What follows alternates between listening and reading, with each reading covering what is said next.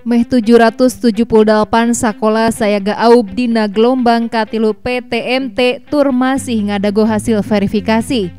Cek Kepala Seksi Kurikulum Pengembangan Pendidikan Sekolah Dasar atau PPSD Dinas Pendidikan Kota Bandung Jajang Hernawan dina bulan Juni 2020 hiji Meh 330 sekolah ti sakumna hambalan atikan di Kota Bandung ngokolakeun PTMT gelombang kahiji.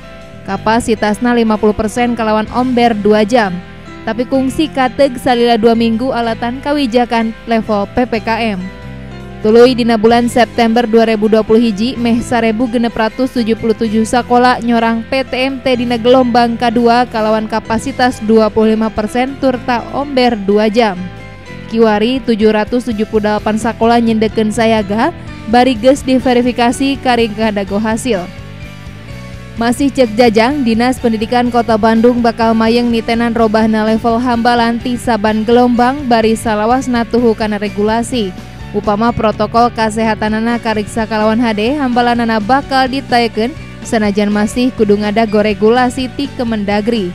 Kiwari gelombang kahiji nincak hambalan katilu, jumlah siswana masih 50% tapi omberna bisa tilu jam. Di Namprona, 1677 sekolah nincak hambalan kedua.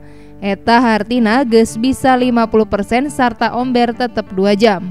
Jajang nembraken salawasna nalingaken kaayaan kernyinglar kasus sarta nguniangkeun klaster anyar. Liantik itu pihak nage mayang edukasi masyarakat sangkan ngelarapkan protokol kesehatan anu rekep di sekolahan sangkan PTMT bisa terus dipaju.